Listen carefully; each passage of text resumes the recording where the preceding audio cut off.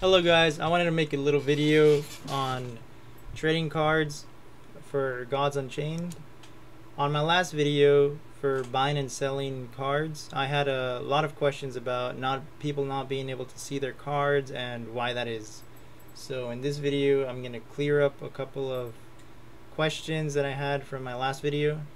So if you go to your collections, here if you go and if you go ahead and group them by quality you can see cards are different qualities. Diamond gold shadow meteorite and plain. Now when you begin leveling up and getting card packs all you are receiving are plain cards.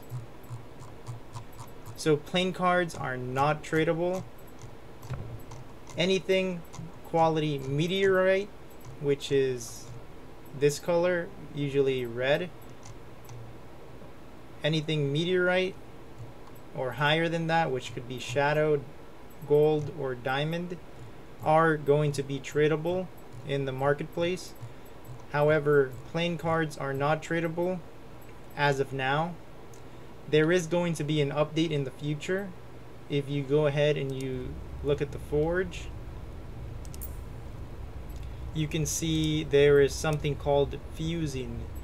You can go ahead, select any two plain regular cards, fuse them together, and you will receive one meteorite card. So here, if you go here, you can see the tier list.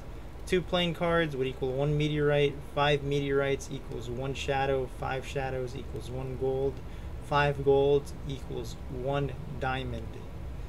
So now this is not available as of now.